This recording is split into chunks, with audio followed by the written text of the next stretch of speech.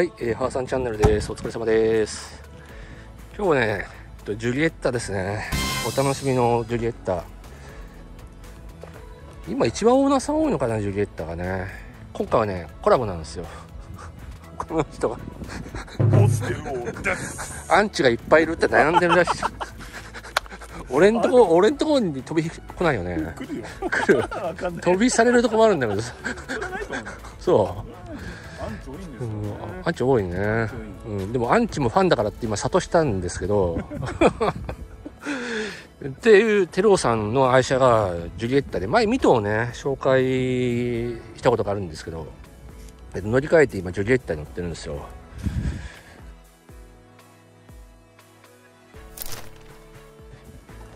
これ何年式でしたっけ？2008年7年。2007年式？13年落ち？2008年かな2008年13年落ちうーん100万で買いましまあちょうどいいぐらいじゃない？13 100年万100万円で。た100万円うーん。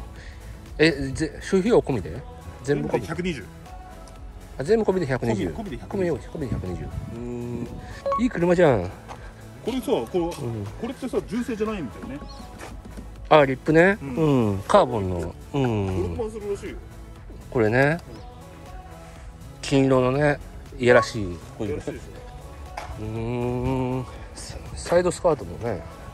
マフラーも変えてあるんだっけ確か。ノーマル。あノーマルなんだ。それにしては太いね随分。あ一本だし。うーん。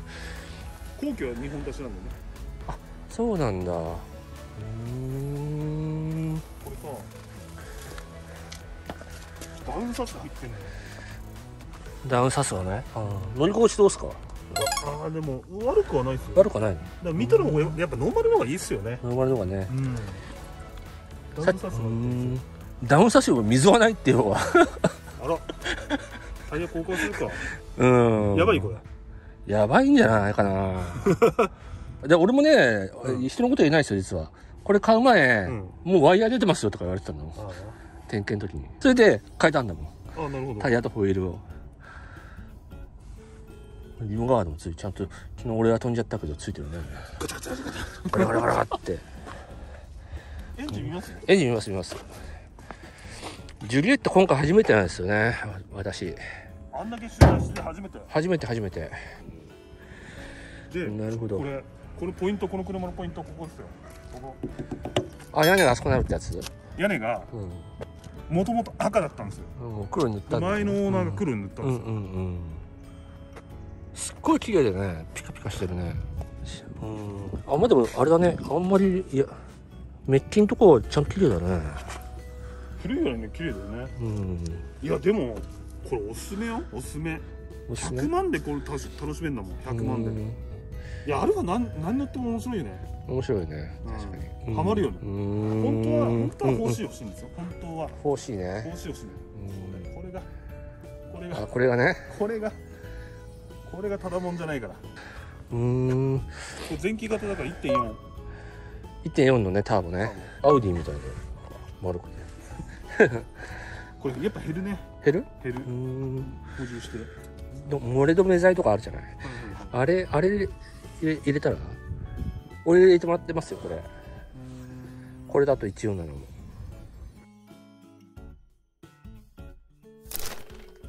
でオイル交換したんですよこの間。ん本当一緒本当一緒にやろうかやりたかった。ああああと動画で出してたよね確かそうそうねそう出し,、うんうん。出しちゃったんだけどもう一番キロ走っちゃったからさ、うんうんうん。やったんだけど見て。これがねうん？うん。エレメントなの？エレメントうんうん。ここにあんの？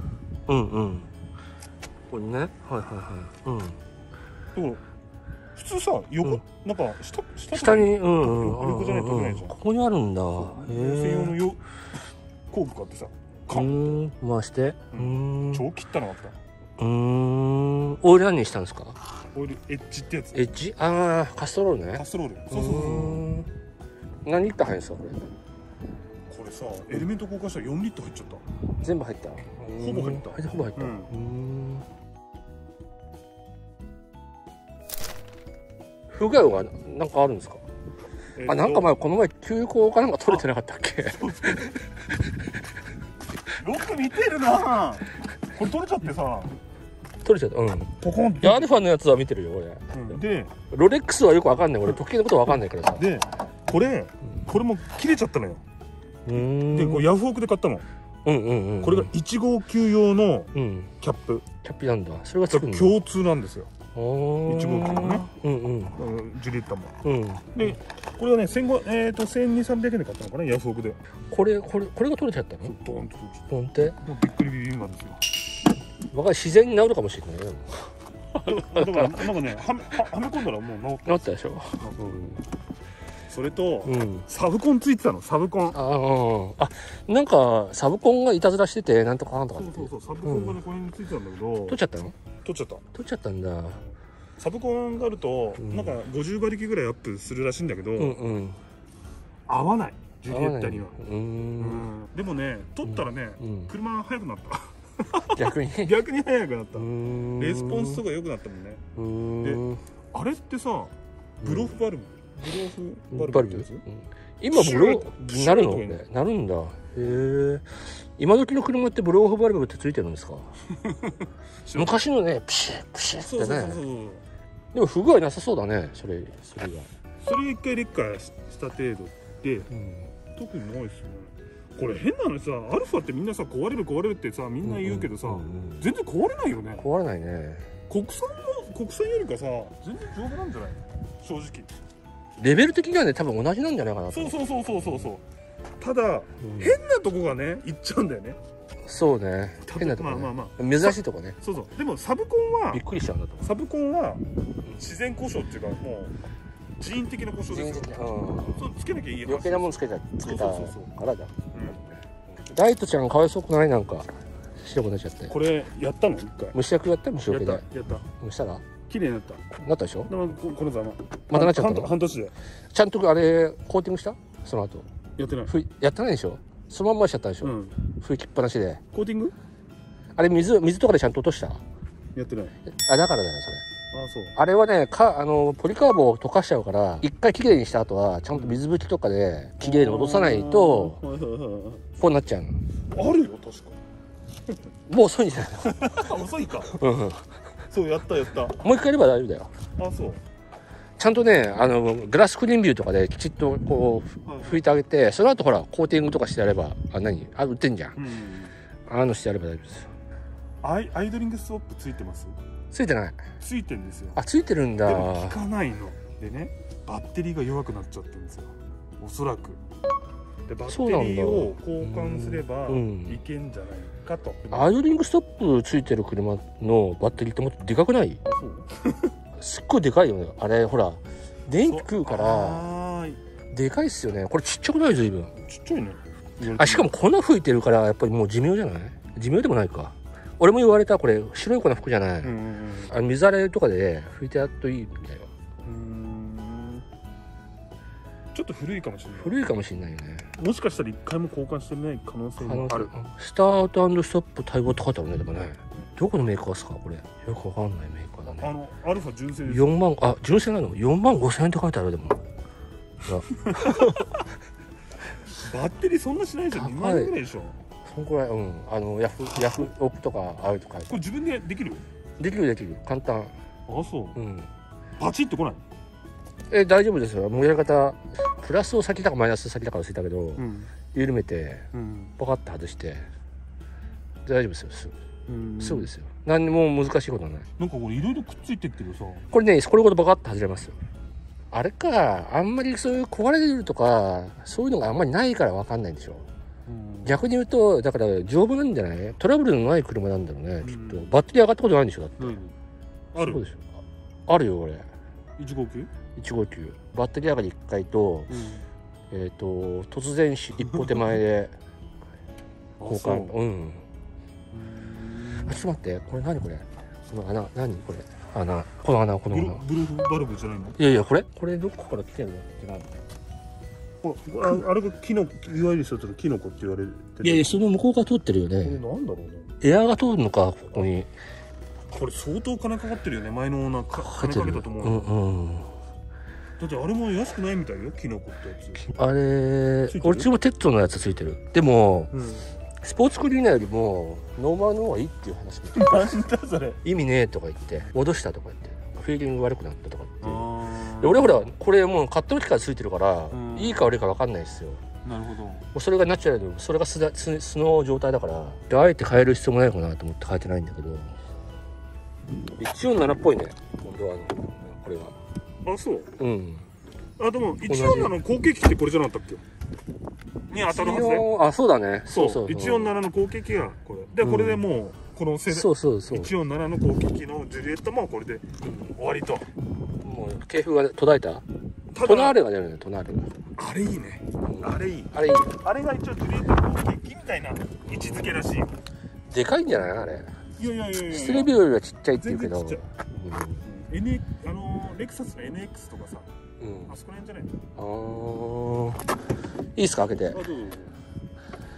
内装おしゃれだよね。あ自分で塗ってなかったっけ？なんか。あ俺塗った。あ塗ったんだっけ？あれ貼ったんじゃなかったっけ？貼ってうん。ダメだこれやと思って塗ったらあ余計塗ったんだ。余計にダメになっちゃった。なんか一瞬ね手作り感あるなと思って今。手作り感あるでしょ？うん。うーん乗ってみないのこれ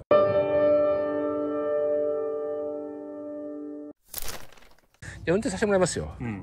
ぜひ。で途中で俺が助手席に乗るわ。ああいいですね。ねいいですね、うん。うんじゃあちょっと語りましょうよ。そうっすね。燃費いくらいくつ？燃費燃費。さっき見た9.7だった。あじゃあ151今9.5っすよ。変わんないですね。変わんないんだ。いきますか。いきますか。そうですね。ちょっとじゃあねあの運転させてもらって途中まで運転させてもらってで途中で助手席に交代して撮影します。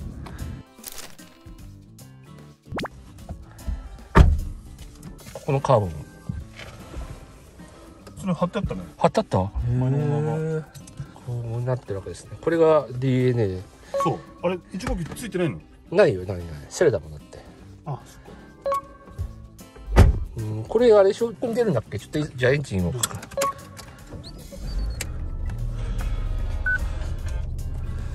これをずっと上上にやっとくとダイナミックダイナミにックモードでつあここか。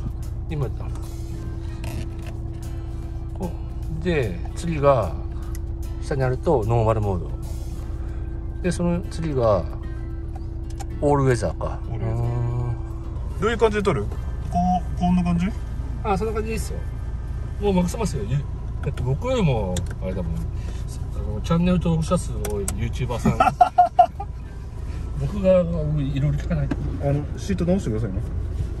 シーシートはね電動です。ト電動なの？一番電動なんですよ。あ本当だ。高級でしょ？こいつがこれ前に出すのどうしたらいいえどこ前にやってください。あでもこのシートいいね。パドルシフトは？ついてる？ついてる。あこれで後付けのパドルじゃん。うこっちのこれでさやるよりこのパドルシフトの方がーん。全然違う？全然遊びがないっていうの。パーキングからも入るわパーキングから？入んないよけあこっちやらなきゃいけない そうそう D これは D そうに D であとこれでもう12とか。そうそう。まあ普通にははそのまま走りますけどね。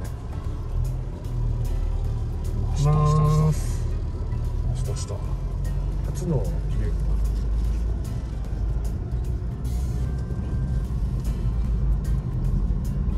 あハンドルでも適度に重くていいね。そうなんですよ。重いんですよ。実は。あでもこの場合の方が路面つかみやすいんじゃない？超おっかないんだけど人の。車あのデイライトつくんですか？いやバライトついてなかっうん勝手に勝手に勝手につく。勝手につくんだ、うん。勝手にライトほらほらほら、うんうんうんうん。あそういう仕様なんですか？暗暗くなるととつくんだ。ああそういうことか。うん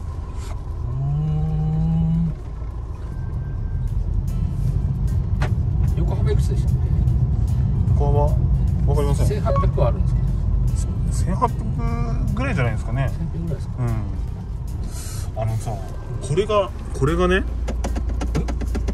アイドリングとかポーなんのよこれうんうんうんうんうんこれクーラーのこの出るところって言うんですかこれがね鳴ってるのこれじゃなくてそれじゃなくてこっちうんここれですよっちが鳴ってるんだうんカタカタカタあカタ本当だなってるねこれまだ可愛いんですよ。これなんか直す方法あんのかな？これみんな困ってるような気がするんだよな。それをあ本当だなってるなってる。それをちょっと YouTube で上げたらなってるね。これ。そうなんです。よ走っちゃえば特に問題ないんですけど。これがオートクルあごめんなさい。オートなんだなんだっけ？オートウェザーか。オールウェザー。オールウェザー。でこれこれはいいんですかこの前。いいです。よそのままいいですよ。はい N N これがノーマル？ノーマル。あ確かにちょっと変わった。大差ないんですけどこれ D にすると楽しくなってくるんですよ。ちょっと。ちょっと。ノーマルで遊んでくださいよ。1.4でも別に不満ないね。ないですね。今。で後期型のあのあのエンジン1.8のうん。あれの方がはるかに速いらしいけあどーあ確かになんかエンジン音が変わった 変わるんですよ。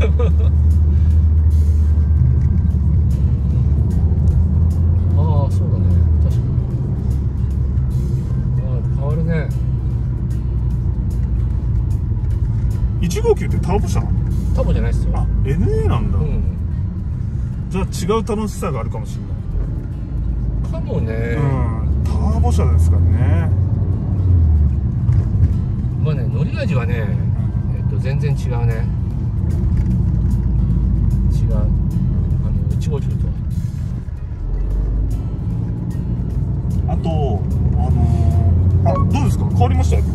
ダイナミックモー変わった。ドうんちょっと変わった。なんか20%ぐらいパワー上がった気がしません？あそんぐらい変わったかななんかねハンドリングがね、えっと159とも147とも比べてはい確かにクイックなんだけどはいはいタイヤのなんていうのかな。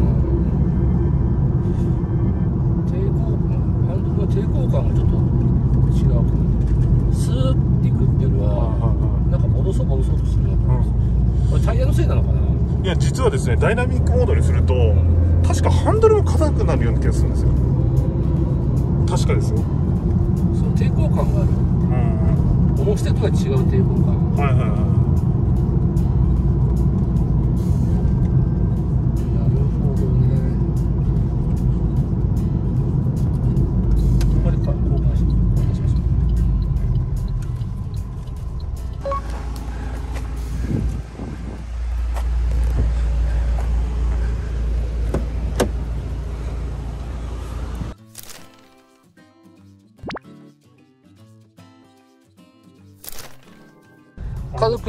何人家族でしたっけ？いうち4人。4人家族で困ったことあります？なんか。はないんだけどない？うん。ダサいから乗りたくないと。えなんで？娘は。そうなの？だから白いの方がいいらしいですよ。白いあ BM？はうーん。そうそう。色がね。そうああ子供だからね。うーん。使い勝手はやる別に全然困いったこともなく。ないですね楽しいよね乗ってて。楽しいでしょ？ううんんそうだよね。乗ってて楽しい車っていうのはアルファですよね。そうだよね。BM の方が、うん。あ俺 BM ずっと乗ってたんですよね。う、ん。で BM っていいよいいよと、うんうんうんいや BM 好きあれだと。テルオさんは車遍歴どんなどんなあの経歴しょってるの？うん最初何買ったんですか？一番初め？うん。はうん。三菱のうん。RVR、RVR ね。うんうん。あのーワンボックスそうそうそう、んん。四駆のやつ。四駆のやつ。うんうん。で、うん大人気だったよねあれ確か。当時ね。当時ね。うん。全然性能は良くないよやっぱりね。あそう。で次トヨタのファンカーゴっていうのを買ったんですね。ファンカーゴうんうんうんあ聞いたことある。ちょっとボックスそれは独身時代。独身ですようん。でうん。もう独身最後だって言ってうん。320の BMW 買ったんですよ320のね。うんうん。あれがうん。300万ぐらいで買ったのかな、うんうん。ああ BM 最高だと。うん。うんもう BM しか乗んねえよって言って次が X1 ってやつ乗ったんですよ。X1 X1 ってあのー、黒缶の？黒缶っていうかあのー、あれでしょ？のうん。初代、初代。のうんうん。X1 うんで次にうん。今のうん。2シリーズを買ったんですよ。2シリーズをね。うん。でで買い足しでミトを買ってジュリエット。ジュリエットでミント買った理由っていうのはあれ安かったから。いくらだったんだっけ？30万。あ安いね。うん。でもあの車も30万には見えなかったよね。見えないね。あれアルファアルファあれっていうのは。30万で買えんだったらすげえなと思って。でもあのやっぱミトの方が俺は楽しかったから、マニュアルだし。マニュアルだしね。ううん。であのテールランプがさうん、4シ ートがしああそうだねりがとうございました。あいえいえ。ええ。120万か。どう？今今考えてどう？120万のジュリエッタ。安い？よかったじゃん。買って。よかった。と言えばよかったよね。フランスだってまだ行ったんだよ、まあそりゃそうだね。13年だもんね。やろうと思えばねいくらでもやるとこあるよねテルオさんにとって今までアルファ2台乗ったでしょ、うん。ミトとジュリエッタと。テルオさんにとってミトは何だったの？ミト？うん。うんミトはね、えー、少女だね。少女。少女？少女。ロリじゃないですか、ロリロリですよ。うん。でそれが大人になったって感じでもアルファ成長したって感じそうそうだからアルファってなんか恋人のような感じじゃない？なんかあのぶっ壊れんだけどさなんか可愛い可愛いからさうんうんあのよしよしよしよしって。うんうんうん。そんな感じそんな感じがでするね。うん。確かにね、BM 乗ってるじゃない、うん。でアルファ乗ってるじゃない、テレオさんにとっての BM とテレオさんにとってのアルファってやっぱ違うの？いやもう全然だって。走りのアルファだよねやっぱり。走りのアルファ、うん、BM もすごいいいんだけど、うんうんアルファ乗っちゃうと、うん。もう完全に毒にやられちゃうよね。うーん楽しまれちゃうね楽しい、楽しい、うん、あの安いからといってつまんないっていうもんじゃない、うん。逆に高いからいいってもんでもない、でもない、うん。なるほどね、うん。それはそうだね。うん。確かに。だってうん安いじゃん。安いのに安いこんだけ楽しめんだもん、うんそりゃそうだね自分でこういうとこ塗ったりとかしないもんね BM には。しないね。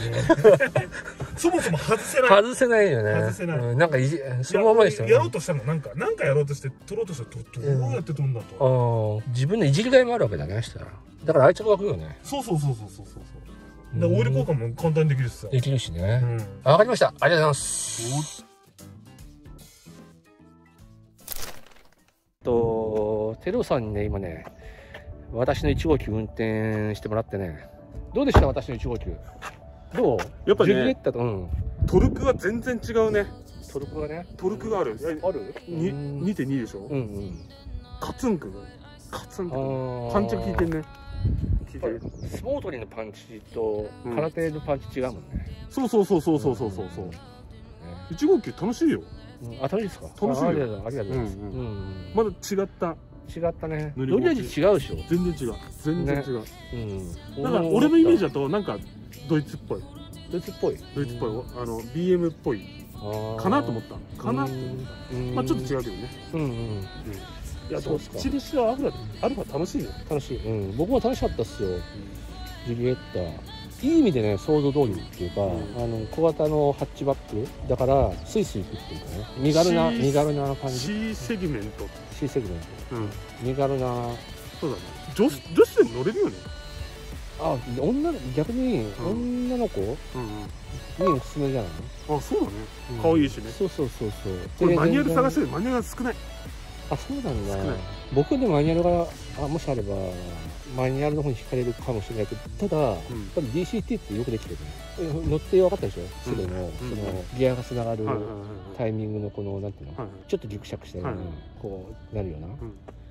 それはないもんね。うん。全く。やっぱツインクラッチいいっすよね。